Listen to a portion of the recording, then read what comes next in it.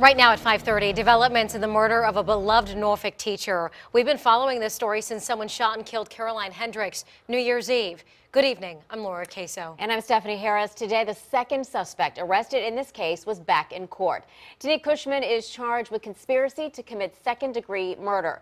Today, 10 on your sides, Chris Horne talked to Cushman's fiance. Chris? Yeah, Stephanie, the fiance, says Cushman's family has been in shock ever since last week when she got arrested.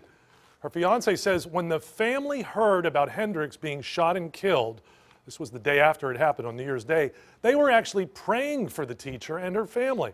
He said it was simply the right thing to do after they had lost a loved one. Well, that was back on New Year's Day, as I mentioned. And then three weeks later, Norfolk police arrested Cushman as the second defendant in the case. The fiance of Tanique Cushman says they have plans to marry as soon as June. He says he knows of no connection between Cushman and Hendricks, who was a popular pre K teacher at Norfolk's Ocean Air Elementary.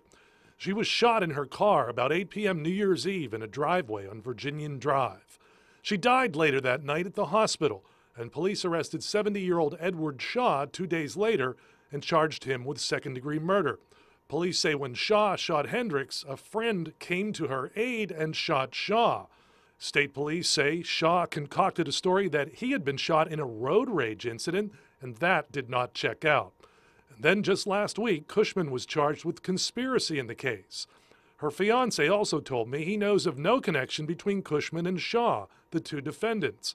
Shaw is from Utah and said in court he was doing engineering consulting work for a firm in Henderson, North Carolina. Shaw said in court he has no prior criminal record. Cushman's background involves a misdemeanor charge of carrying a concealed 22 pistol in Virginia Beach in December, but the judge deferred judgment until next January if Cushman remains on good behavior. So, as you can see, this case has many loose ends, especially when it comes to how the two defendants are connected and why anyone would kill an admired and accomplished schoolteacher such as Hendricks. We hope to learn more Friday and then Monday when Shaw and Cushman are set for bond hearings. Chris Horne, 10 on your side.